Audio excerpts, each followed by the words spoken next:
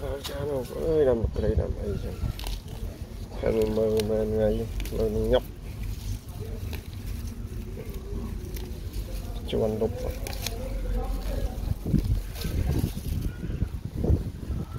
ាំទៅ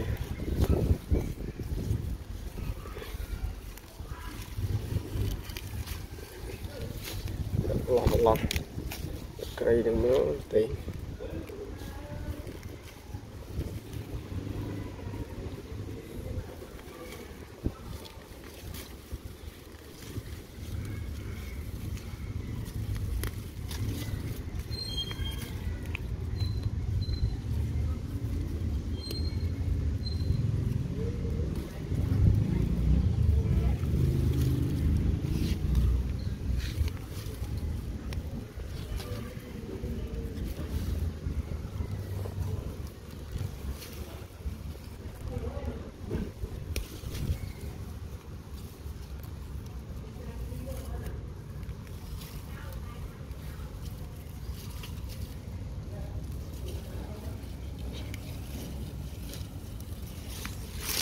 ក្រ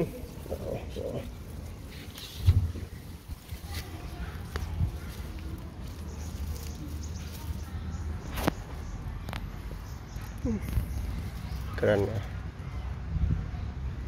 នឹងដោយសារស្នាដៃ